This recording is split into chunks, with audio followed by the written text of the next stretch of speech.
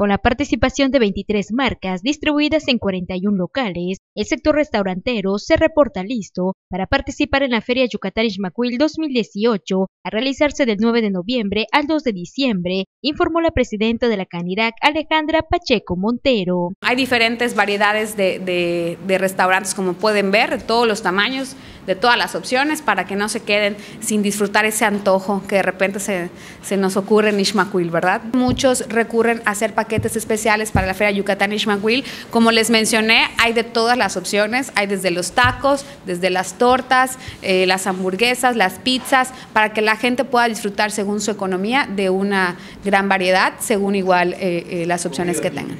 En conferencia de prensa y acompañada de la directora del Instituto Promotor de Ferias, Abril Ferreiro Rosado, indicó que durante esta magna feria se espera una derrama económica de 15 millones de pesos, cifra menor al obtenido en el 2017, que fue de 15 millones y medio.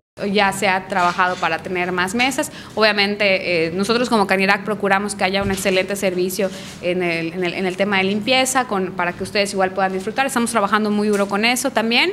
Y, eh, y recordarles que Canirac parte de sus preocupaciones y del trabajo que tiene todos los días del año es preparar a nuestros restaurantes para que cumplan con todas las normas sanitarias de higiene, de protección civil. Con imágenes de Eugenia Valdés e información de Merly Gómez, Notivisión.